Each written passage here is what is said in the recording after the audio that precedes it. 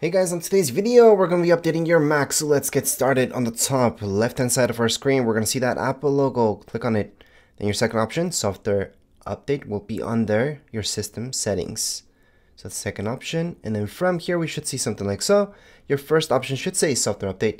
However, let's say you don't. There's a few ways to get into here. So go down into general, then your second option will say software update. That's one way. Another way would be on the top, just type in update. And that should take you here, same thing. So those are three ways to get to this update. Now, if you don't see it for any type of reason, so let's say this is not popping up for you, you just turn off and on automatic updates. That should refresh things for you. Anyways, we can always click on view more information if you guys would like to know a little bit more about this, just under two gigs. We can just press on update now and then just let our Mac up to do its thing right after we type in our password. And here we go. So it's just gonna update. Then um, once it's done downloading, it's gonna restart. And that's it. You can just leave your Mac to be. You're, you will see an Apple logo in the loading bar later on. But anyways, for now, just let it be. Just make sure it doesn't turn off.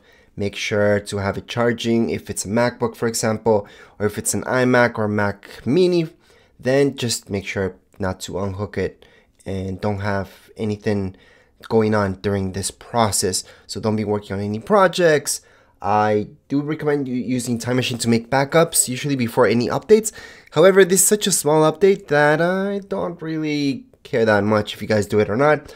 Just to make sure that everything does go okay, just make sure you also have enough space on your Mac. So at least 30 gigs of free space, so that way nothing bad happens when it's trying to install the update and you're not gonna get stuck.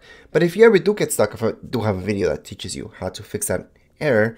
But anyways, that would be it right now. We just have to wait. So if you left your Mac to be, it would have restarted by itself. However, if you are looking at it, you can just press on restart right now or restart later on.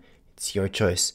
So right now we can just press on restart now. So after a few minutes, your Mac should have restarted. You would have seen Apple logo loading bar and then finally, you guys can go and double check that everything went okay. Going to right here, updates, and you would be done. That would be it for this video. If you guys have any comments, questions, you guys can write down here in comments area. Don't forget to subscribe and like. Thank you.